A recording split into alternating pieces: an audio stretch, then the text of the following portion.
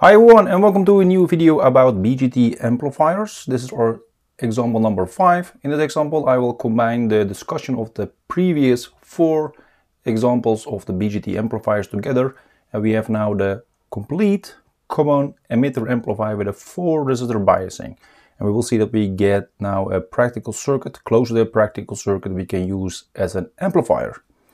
And this is again a NPN amplifier, NPN uh, BJT, and it's called AC coupled amplifier and also the common emitter amplifier. And we will see again that we have a large gain. Of course, we will work out the calculation step by step and also verify these in our SPICE simulations. So this is the circuit. We have uh, here at the moment uh, this uh, load resistor in addition to the example number 4. And we see also the 4 resistor again, R1, R2, RC and RE. So the values are shown here and the load is 10 kilo ohms.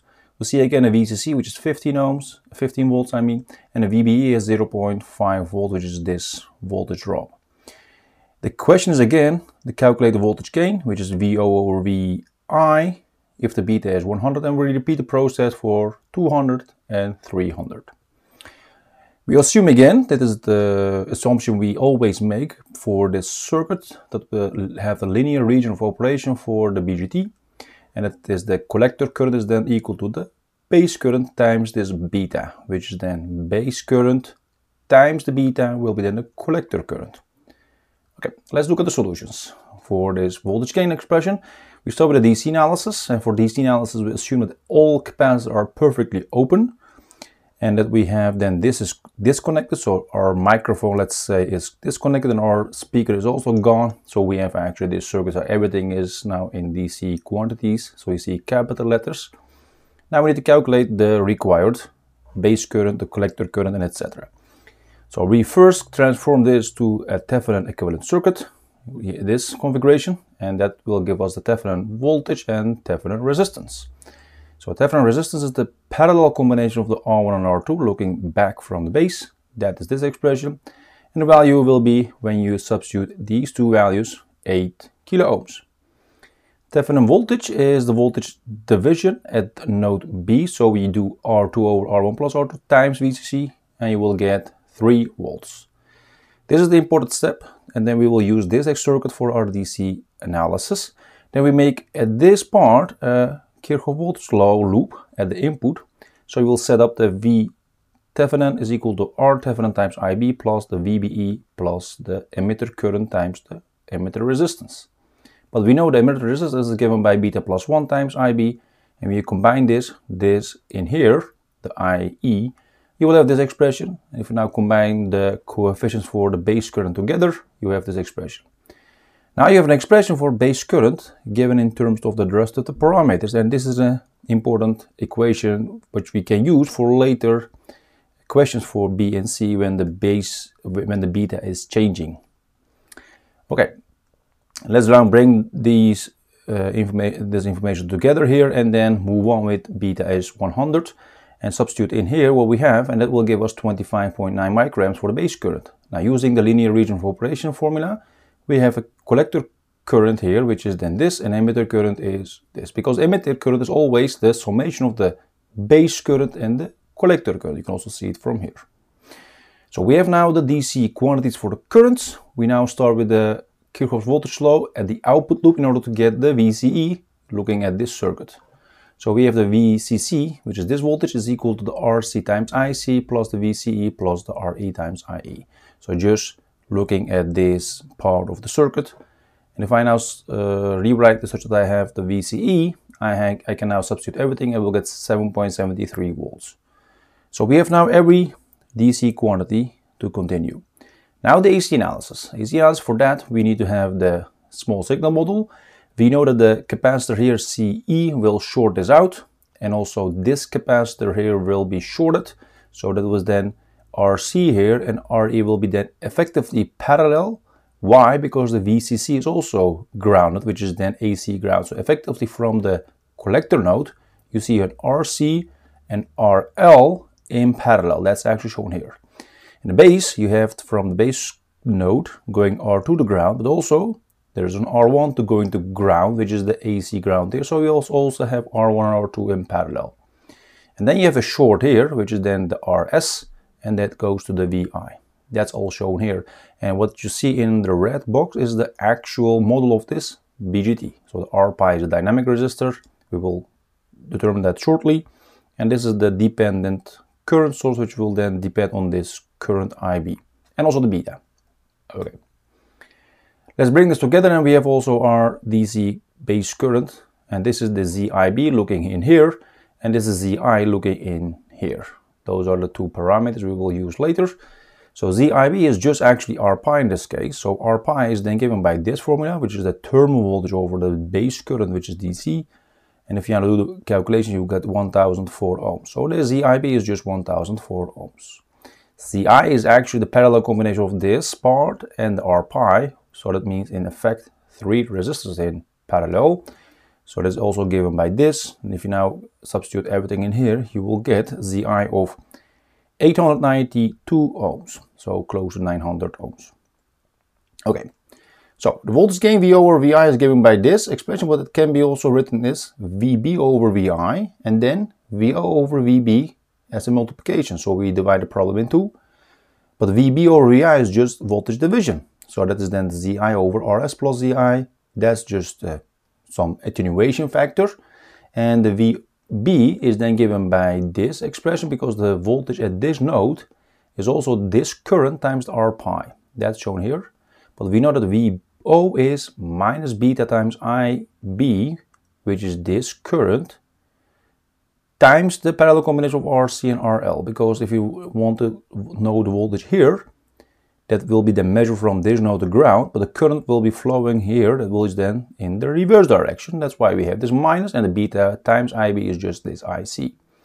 Now taking these two together, and we have now a V over VB expression, so we see IB and IB here, we can divide it out, we have this expression. Now we take this and this, and then substitute in the voltage gain expression for AV. So we have this, let's calculate everything, uh, to put everything in here. RC parallel to RL is close to 1667 ohms. So if you now calculate, uh, substitute everything here, R pi, ZI, etc., the betas, you will have now a value of minus 106. So you see that we have a large gain, and actually it is a little bit lower than the situation in question uh, in example number four. Why? Because then we didn't have this RL. So that's the parallel combination effect of that load resistor. Okay. Now moving on and looking at the simulation result for the DC analysis, you see the values here for the DC analysis and so also the simulation result for the beta S100, you see they are really close to what we have calculated small errors due to more parameters in our BJT. Moving to the simulation result in the transient response, we see this is the voltage gain, the blue is the input, and the red is the output. You see this inverted, so that's the minus sign. You see the input is 10 millivolts peak, so 20 millivolts peak peak, it's 10 kilohertz. So if I look at it, the output, peak peak output voltage will be then 2.085. If you now calculate the actual gain here from these two plots, you will get minus 104, very close to minus 106, what we have calculated. So this is from the simulation, this is from the calculation. Okay, we start now exact same procedure, but then for the beta is 200, so I go a little bit faster.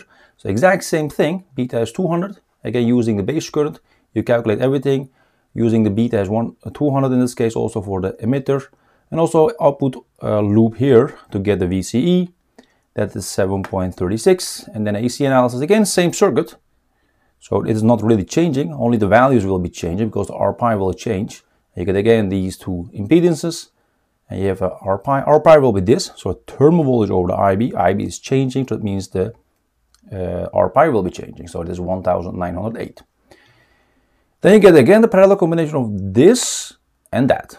That will give this and you will have now an expression and that will give us 1541. So it is now increased, almost doubled the ZI. Now we have, a, have again that voltage gain expression which will then divide in two problems. So again the voltage division here from the base to the VI and you have this expression for the VB and also for the VO. Now, taking this together and also collect them together here, we have then the, the actual expression for the voltage gain. Now we use again the new values for R pi, new values for Zi and also the beta. So the RC parallel and RL is still 1667, that doesn't change. We have this. Now the new value will be then minus 132. So it has increased because the beta has increased and also you see the effect of beta. So it is not really unaffected, it is affected, but the increase in beta was 100%, but the effect, the change in the gain is not 100%, it is smaller.